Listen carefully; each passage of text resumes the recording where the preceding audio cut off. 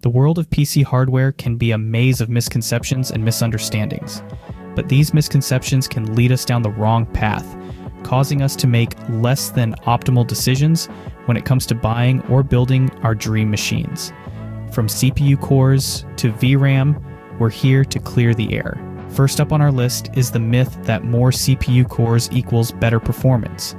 While it's easy to assume that more cores equate to smoother, faster computing, that's not the entire story. Software optimization and the type of workload you're dealing with play a significant role. Not all software can fully utilize multiple cores, and some tasks might not even need them. It's a case of the right tool for the right job. So, before you max out your wallet on a high core count CPU, consider your needs and the software you'll be using. Remember, more cores don't automatically mean better performance. Next up, the myth that more VRAM always equals better performance. VRAM, or Video Random Access Memory, is essentially your GPU's workspace. It stores the textures, models, and other data your GPU needs to render a scene. While it's true that more VRAM can help when you're playing games at high resolutions or with lots of texture detail, having more VRAM than your GPU can effectively use doesn't improve performance. It's like having a huge desk, but only using a small part of it. VRAM is important, but having more isn't always better. Myth number three is that DDR5 RAM is essential. While it's true that faster RAM can offer better performance, this isn't always the case.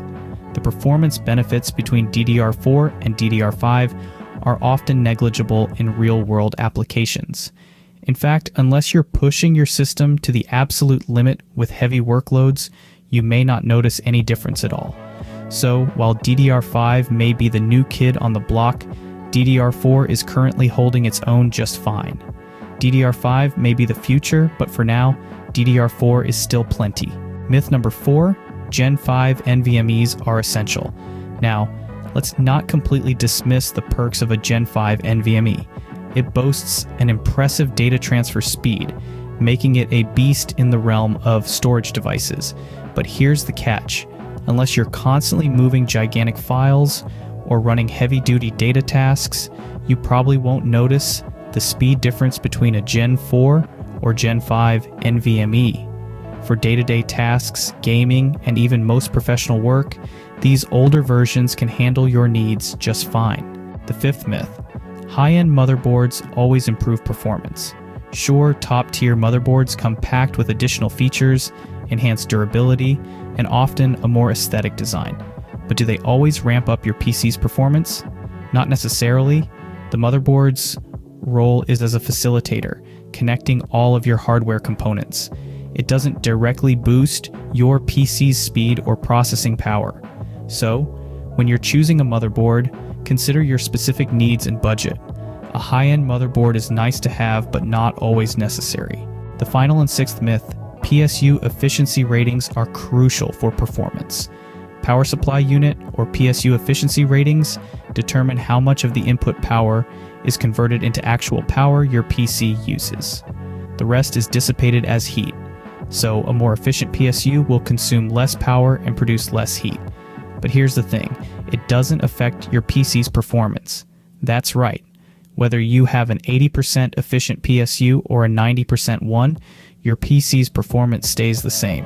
A PSU's efficiency rating is more about energy conservation than performance. There you have it, six common PC hardware myths. However, it's crucial to remember that choosing PC hardware is not a one size fits all affair. It all boils down to your unique needs and budget constraints. Performance benchmarks are a great starting point, but don't let them overshadow your individual requirements. Whether you're a gamer, a content creator, a casual user, or a tech enthusiast, understanding these myths can help you make informed decisions and get the most bang for your buck.